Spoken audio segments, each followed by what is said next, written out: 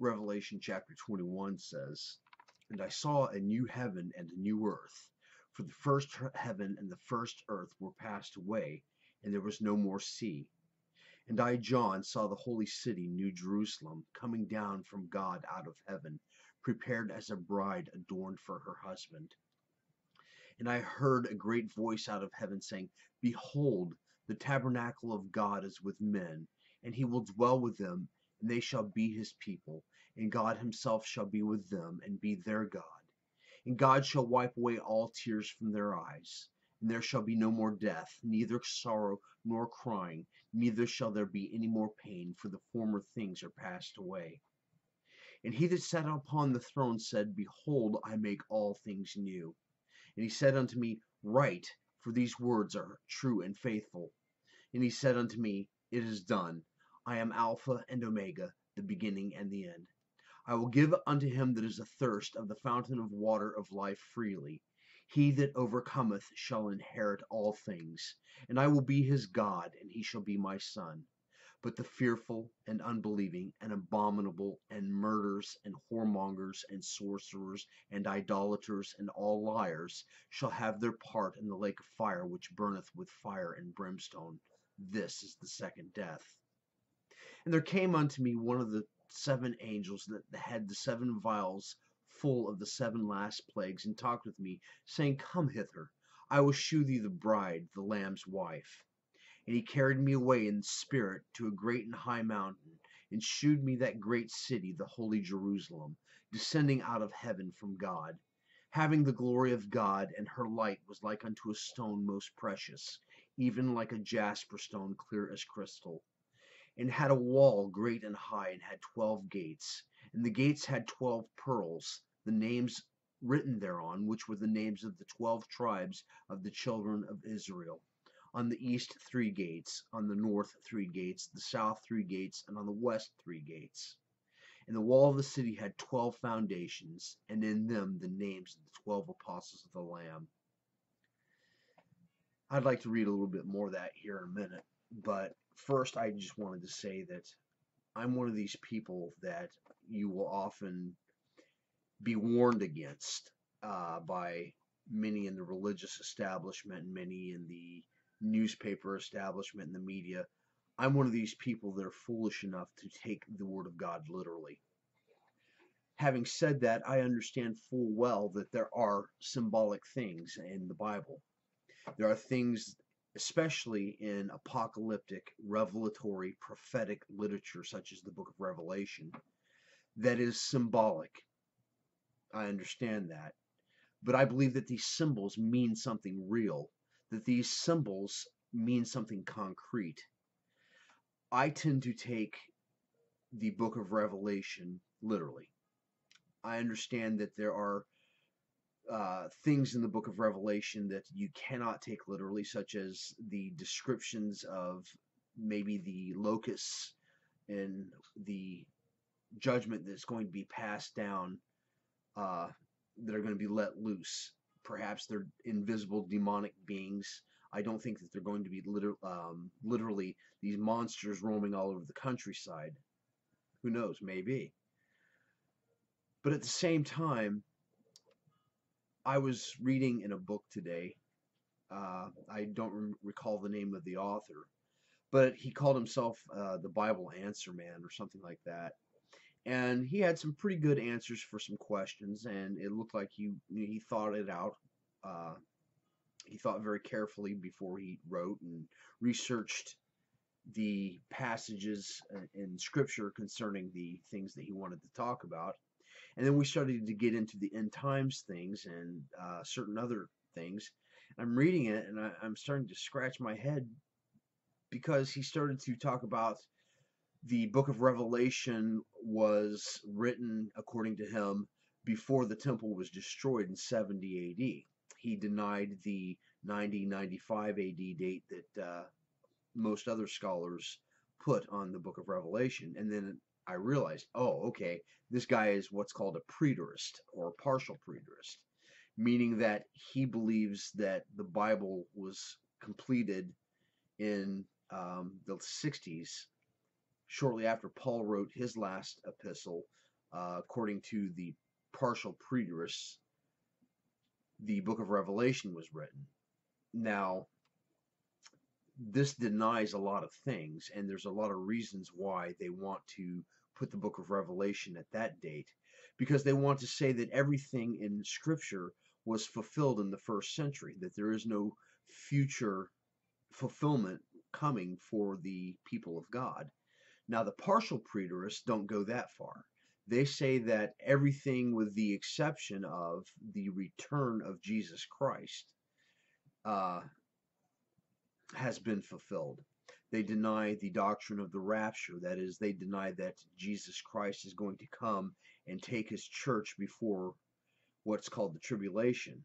They deny um, much of what's uh, much of what the futurists say has yet to happen. They say that it all happened in the first century, and then there's the uh, group that are part preterist, part historicist that says that it's all been fulfilled, but it has all been fulfilled through history.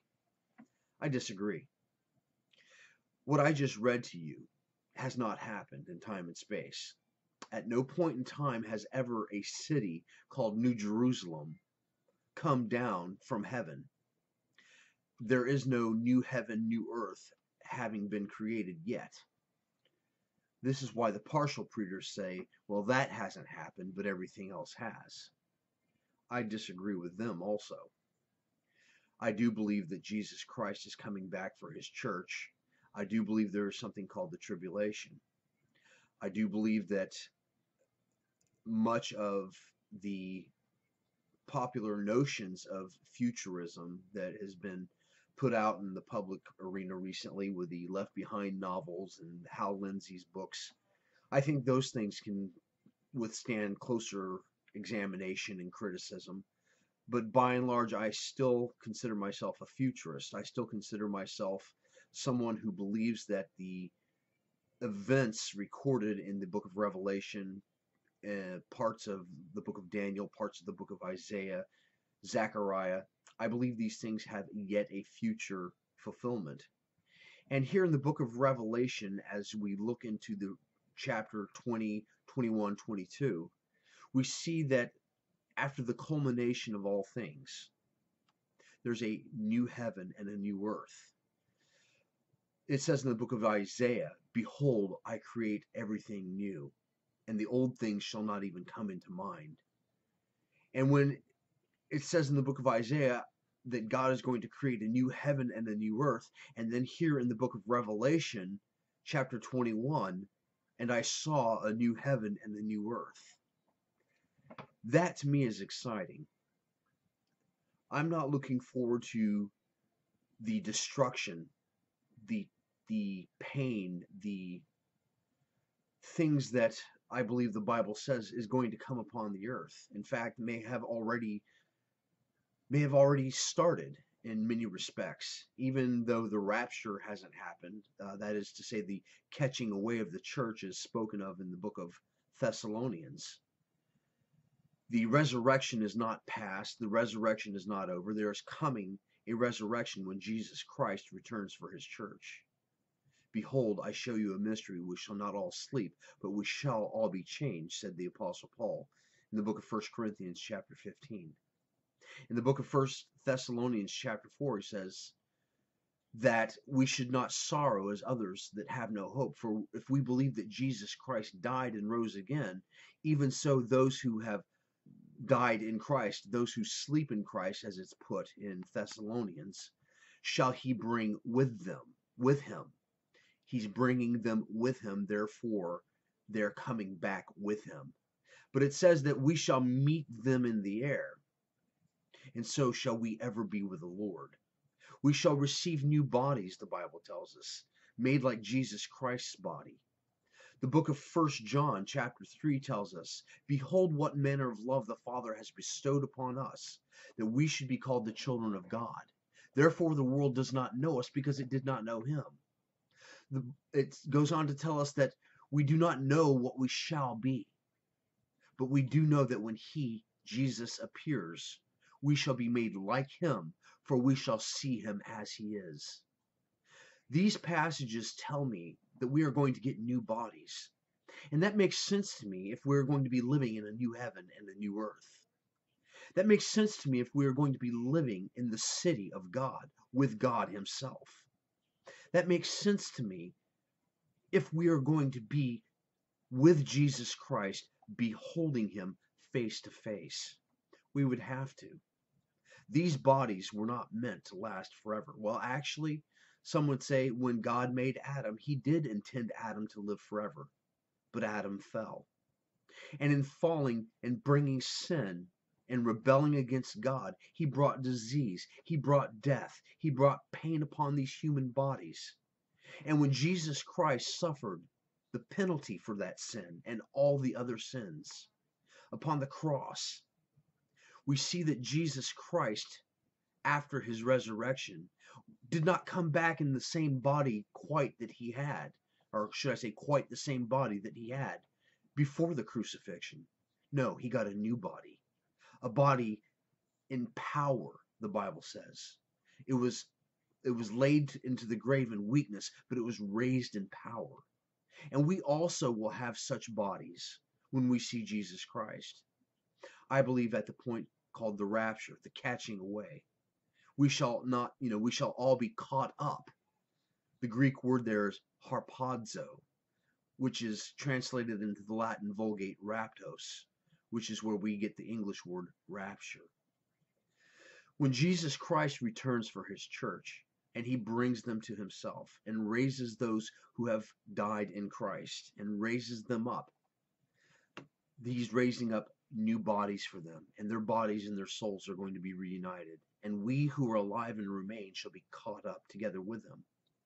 And we shall be changed in the twinkling of an eye, as I have already said in the book of, in, pardon me, in the book of first uh, First Corinthians. Now, without getting into the tribulation period, without getting into the overall futurist understanding of much of the book of Revelation, I want to look at heaven again. A few weeks ago, I started, uh, I looked at heaven.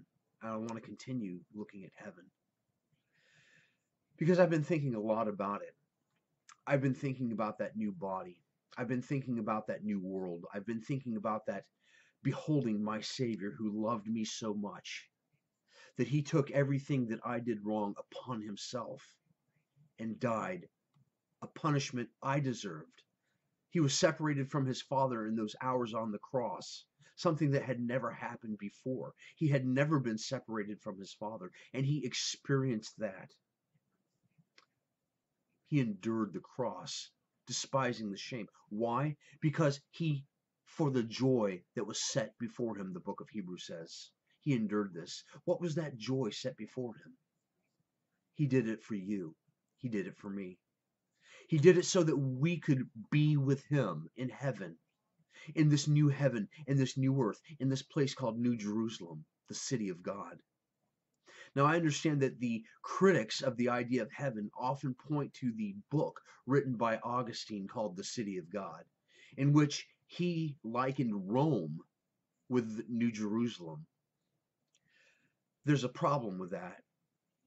The book of Revelation was written well over 200 years before Augustine was born. The book of Revelation was written long before he came on the scene the book of Revelation was written long before any any major Christian center in Rome could claim to be the Christian center of the world. In fact, that didn't happen until Constantine in 320 or so. And Revelation was written in 90. So I do not believe when the critics of heaven point to that. I don't think that they have a legitimate argument. You see, I'm looking forward to going to be with this place, to, uh, to going to be with Jesus in this place. I'm looking forward to being with the one who washed me from my sins in his own blood. Because I understand that, what did I just read? I read that God shall wipe away all tears from their eyes And there shall be no more death, neither sorrow nor crying, neither shall there be any more pain, for the former things are passed away. All of those things, death, crying, tears, and pain, the part of our daily order now. I, I, almost can't even imagine a world without death. I almost can't even imagine a world without pain and crying. But my God tells me that this is a reality. And it's a reality that He is preparing for me because He loves me. Why wouldn't I want to go to be with Him? Why would I want to continue on in this world? Why would I want to see things continue the way they are? Things are not getting better in this world. And please don't understand what I'm saying as I'm trying to say that I have this idea that escapism is um, what I'm aiming for here. I'm not escaping into fantasy. I'm holding on to a promise that my God has made to me and to all those who call upon his name. I'm looking forward to a new body that is not racked by sin, disease, pain. I'm looking forward to living life without these things. I'm looking forward to being able to hear without all these ringing in my ears that I have all the time. Even if we don't have what, you know, seems to be described as superpowers in our new bodies. Just the fact that I won't need glasses and I'll be able to hear. And I won't have the misunderstanding that is so often part of life. That to me sounds so much worth it. The first earth and the first heaven are passed away. And the former order of things. It says, For the former order of things are passed away. And it says, Sorrow, tears, crying, pain, death. Those are the former order. That's that's our daily life now. When we turn on the news, we see the race race riots going on in our country right now. We see that there's so much pain and confusion and war in this world. Jesus said, Blessed are the peacemakers, for they shall be called the children of God. And we can also see that no matter how hard that we are trying to be that peacemaker that Jesus said, there is no peace in this world outside of Jesus Christ Himself. And because we know that this entire world is rejecting Jesus Christ, the Prince of Peace. There will be no earthly peace until he comes and physically sets it up himself. That doesn't mean that we don't continue to try. That doesn't mean that we don't continue to be that peacemaker that he has called us all to be. But it does mean that we need to realize that there is no peace outside of him and there will be no permanent, lasting peace in this world until those former things, until that former order has passed away. And it says that, talking about the angel that, carried John away, and he showed me the holy city, New Jerusalem, descending out of out of heaven from God having the glory of God, and her light was like a stone most precious, even like a jasper stone, clear as crystal. And I already read about the the foundations and the and the and the gates made of you know pearls or pearlescent material, maybe not necessarily pearls, but material that that has an inner fire like pearls. The thing that strikes me about the gemstones that I just read is the, the beauty of them and the endurance of them. But one thing that seems striking, especially about jasper stone, is that when there's a light source, it looks like that light is emanating from it. The light and the glory of God is shining through these things. And it goes on to say, And he that talked with me had a golden reed to measure the city, and the gates thereof, and the wall thereof and the city lies four square, and the length is as large as the breadth, and the height of it are equal. You get the idea of a cube. And when it gives the measurements here, to put it in just modern English here, uh, well, I'll, I'll go ahead and read what it says. And the length and the breadth of it are equal. And he measured the wall thereof an 144 cubits according to the measure of the man. That's over 200 feet tall. That's the wall. That's how high the wall is. And the building of the wall was Jasper's city, was pure gold, like clear glass. I think I said this in my last, uh, my other video that I did on heaven, that when all impurities are taken out of gold, chemists tell us that gold here on earth now, if we were able to remove every bit of impurity out of it, would be clear like glass. There is no impurity in heaven. Gold speaks about God's maj uh, majesty and his royalty, and it is everywhere in heaven. And it's pure. There's no impurities at all in it. How in the world would the Apostle John know that pure, real, true, pure gold is clear like glass? I believe it's because he saw it. I believe it's because he actually saw this new city, New Jerusalem and I believe it's a real place. And the foundations of the wall of the city were garnished with all manner of precious stones. And it goes on to mention those stones. And the twelve gates were twelve pearls, and every other gate was one pearl. And the street of that city was pure glass, or pure gold, as it was transparent glass. And I saw no temple therein, for the Lord God Almighty and the Lamb are the temple of it. And the city had no need of the sun, nor the moon to shine in it, for the glory of God did lighten it, and the Lamb is the light thereof.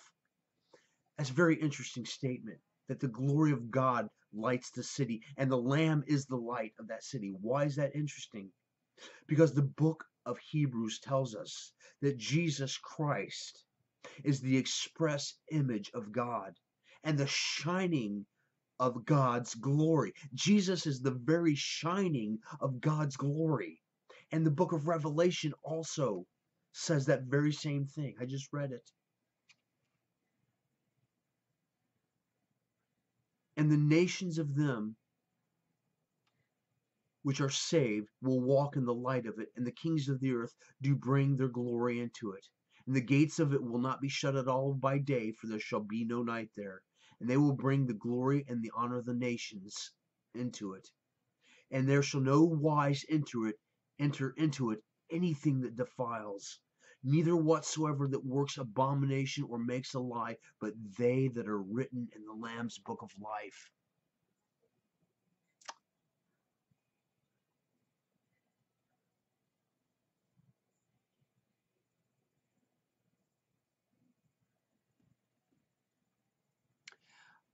I'm pausing here because I'm trying to read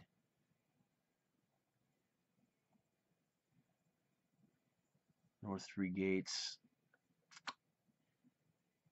Oh yes, it's right here. And the city lies four square in length, and the length is as large as the breadth, and the height are equal. And he measured the city, it, and the city is twelve thousand. Pardon me, twelve thousand furlongs. As I was going to say, into in today's modern English, that's about that's over a thousand uh, five hundred miles. This is a huge city, people. One thousand five hundred miles in every direction. Critics of this idea say that no, that's symbolic.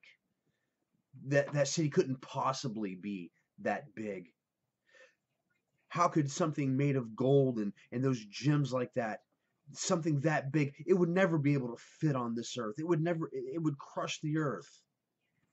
That's why it's going to be a new heaven and a new earth. Because the bible doesn't say that new jerusalem is going to sit on the earth as it is now. It's not going to sit on this earth as it is now but it will sit on the earth when it's remade. When this city comes out of heaven proper. I don't know what else to call it, but that place where it is now. And God puts it here on the earth. It's going to be able to sit just fine because God is going to recreate everything. Let's look at uh, Revelation chapter 22. And if I'm not mistaken, I think I, I read a little bit of this in the last video I did about heaven. And he showed me a pure river of water of life, clear, clear as crystal, proceeding out of the throne of God and of the Lamb. In the midst of the street of it, and on either side of the river, was there the tree of life, which bare twelve manner of fruits, and yielded her fruit every month, and the leaves of the tree were for the healing of the nations. And there shall be no more curse, but the throne of God and the Lamb shall be in it, and his servants shall serve him, and they will see his face. That is what I'm looking for. Of all the things that make heaven so attractive and sets that longing fire in my heart the most, here it is. I want to see, I actually want to see Jesus Christ. I want to hear his voice, the tonal quality of his voice. I want to feel the touch of his hand. And I believe that I shall. I believe that when I enter into this place that I'm reading to you, that I'm talking about here, that I'm going to see him and he's going to speak to me. Perhaps all the things that he wanted to say to me, if I was just a little more willing to listen to him instead of talk so much when I pray. If I was willing a little more to dig a little deeper into his Bible, he would have been speaking to me so much already had I been more willing to listen, had I just slowed down a little bit. But the fact is, this is going to be an eternal thing. I'm going to be with him forever. I'm going to be with the one who loves me more than I can fathom. I am not going to disappoint him, nor be disappointed by anything. I am so looking forward to that. There will be no more curse but the throne of God. Everything that we do now in this world is touched by the curse. No matter how much we love what we do, it is still touched by the curse that we are all under. Oh, the curse has been broken in Jesus Christ's body on the tree. But until the fullness of our redemption, we still have to deal with that curse. We still live in a world that is rejecting this God. And until that, that is changed, and until the day that all who reject him and hate him and are doing these things that, that just seem like the everyday normal order of things now, until that is changed and removed, we will experience the curse. But on that day, there will be no more curse. All those things that destroy us, all those things that break our hearts, all those things that break God's heart, all that sin that we continuously say, oh, that's not sin, it will be gone and we'll see, oh, yes, it was sin. Jesus is coming. And there shall be no more curse, but the throne of God and the Lamb shall be in it, and his servants shall serve him, and they shall see his face, and his name shall be in their foreheads. I believe I talked a little bit about this in the last video, that that means that Jesus Christ, God our Father, the Holy Spirit, God owns us. His ownership is no longer contested. His ownership is clear for the entire universe to behold. And there shall be no night there. They need no candle nor light of the sun, for the Lord God giveth them light, and they shall reign forever and ever. I want to go to heaven. I want to go to this place. I want to see it with my eyes. That's what Job said. Job said that I know that my Redeemer lives, and he shall stand upon the earth in the latter days, and I will see him with my own eyes. Though worms destroy this body, though this flesh dies, though this flesh is destroyed, I will see him with my own eyes. That's what the book of Job tells us. And he said unto me, these sayings are faithful and true, and the Lord God of the holy prophets sent his angel to show to his servants the things which must shortly be done. This is Jesus talking. Behold, I come quickly, and blessed is he that keeps the sayings of the prophecy of this book. And I, John, saw these things, and I heard them. And when I heard and seen, I fell down to worship before the feet of the angel that showed me these things. Then he said to me, See that you do not do that, for I am your fellow servant, and of your brethren the prophets, and of them which keep the saying of this book. Worship God. And he says unto me, and he saith unto me, Seal not the sayings of this prophecy of this book, for the time is at hand. He that is unjust, let him be unjust still and he which is filthy, let him be filthy still. And he that is righteous, let him be righteous still. And he that is holy, let him be holy still. And behold, I come quickly, and my reward is with me, to give every man according to his work shall be. I am Alpha and Omega, the beginning and the end, the first and the last. Blessed are they that do his commandments that they may have right to the tree of life and may enter in through the gates of that city. For outside of it are dogs and sorcerers and whoremongers and murderers and idolaters and whosoever loveth and maketh a lie. Though that former order of things that's passing away will never enter into this city. It will never enter into these gates. But you and I, if we trust him, if we walk with him, if we love him in this life, we shall be coming in and out of that gate, those gates. We shall be with him. He will lead us himself into that place of still water. The Lord our shepherd. Oh, the tender love he has for us now. I am so looking forward to the time when all of the blinders are off, all the filters are removed, all the wrongheadedness that I have, all the misconceptions that I have about this God and His love and His grace and His power and His mercy and His dignity and His majesty, when all of that is removed and I am seeing Him and I'm able to see Him and I am able to really grow more and more. That's what's going to be going on in this place called heaven. He made it possible for me to go there when he died on Calvary. And he proved that not only is it possible, but it's a fact when he rose from the dead. He is alive, and he's promised that as he lives, I shall live. And Jesus Christ right now is in this place. He's preparing for us a place. He said, In my Father's house are many mansions. If it were not so, I would have told you. And I go to prepare a place for you. And if I go and prepare a place for you, I will receive you to myself, that where I am, there you may be also. That's heaven. That is heaven. That is a place of joy. That is a place of purity. That is a place of goodness. And that is something that God is offering us. I want to go there. I want you to go there with me. I want you to see these things for yourself. Jesus said over and over, These things are faithful and true. God did not lie to us about heaven. God said that this place is real. And he said it so many times. And this is a, yet another reason why I take these things that I just read to you literally.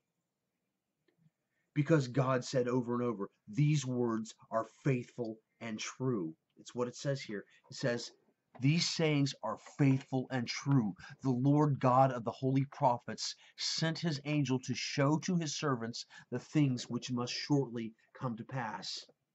Now that's everything else that was recorded in the book of Revelation, those things that shall shortly come to pass. I've already been talking for quite a while and I've already read quite a bit. And any more is beyond the scope of what I wanted this video to be. Let us just suffice to say that all the events before Jesus comes back, before the setting up of his kingdom on earth, and before the making of heaven and earth anew that's recorded in Daniel. It's recorded in Isaiah. It's recorded in Zechariah. It's hinted at and shadowed in the law itself. It's talked about in the Gospels. It's talked about in the book of First Thessalonians, Second Thessalonians. Peter talks about it. James talks about it. Jude talks about it. These things that God plainly tells us in His Word are going to happen and they're going to come to pass. But when all of that is said and done, there is this place called heaven. It's a place He is inviting us all to experience. He's inviting us all to come to Him.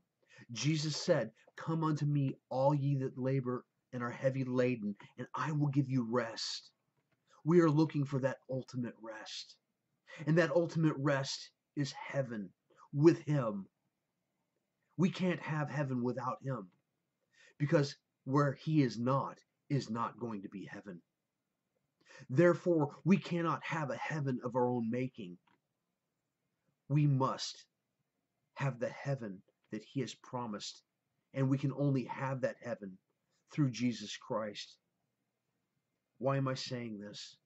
Because there's a lot of people in this world now that want to live without Him. They say we don't need Jesus, but somehow they think they're going to go to heaven anyway. Somehow they think that there's some other place for them to go to after they die.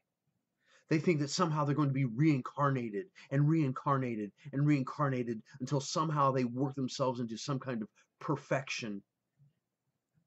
And I'm not even talking about Hindus. I'm talking about just this crazy idea that people have that they can just make up whatever they want and it be so. The words that I read to you are faithful and true. And God sent his angel to show us we have the record of it here in the book of Revelation. Heaven is real. There have been a lot of books out lately about near death experiences where people have claimed to have died and gone and seen things and heard things. And to be honest with you, I've read some of it and I find some of it I find some of it interesting. I find some of it um, maybe even possible. I don't know. I can't trust them though. I can't trust a book written by someone that may or may not be, but I can trust that the Bible is telling me the truth because these words are faithful and true. And I know that they're faithful and true because Jesus Christ, the beginning and the end, the risen, resurrected Lord proved that these things were true when he rose from the dead. Heaven, it's ours. All we have to do is ask him for it. All we have to do is believe him. All we have to do is allow him to give us the strength to live this life and walk with him. I want to go in his time, in his way, sure. But it's more than the fact that he has put eternity in all of our hearts. And this is why all everybody wants to go to heaven. They don't want to die to get there, and some don't don't want Jesus, but they still want heaven.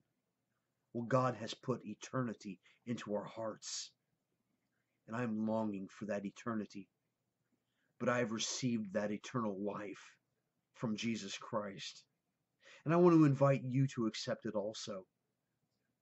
These things that I wrote, uh, that I read to you, they're true. It's real. It's not fantasy. It's not escapism. Maybe on some other video, some other day, I'll talk about the rapture.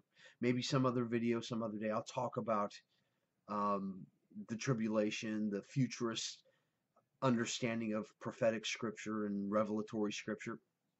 Maybe, maybe not. You can always come to my Sunday school class. That's what we're talking about now.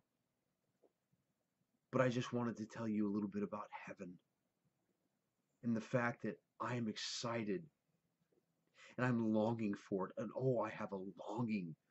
I have such a longing to be with Jesus and to see him. And the great and glorious thing for me is that you can come with me. You see, my wife accepted Jesus Christ also, so I know she's going to be there. I know that my great grandmother accepted Jesus Christ, Reby Roberts. I always thought that's kind of a funny name. But my granny, with her funny name, is going to have a new name in heaven. The Bible tells us that he that overcomes will I give a white stone with a new name written thereon, that no man knows except he that receives the stone. So even Granny with her funny name, Reby, is going to be there. I want to see her too. I want to see you in heaven. I want to see you. And all you have to do is ask Jesus Christ into your heart to forgive you of your sins. All you have to do is believe him and walk with him. All you have to do is just turn your life over to him and live the life he empowers you to live. Salvation and obedience. There is no salvation without obedience. Obey him he says, Come unto me, all ye that labor and are heavy laden. Obey him and turn to him.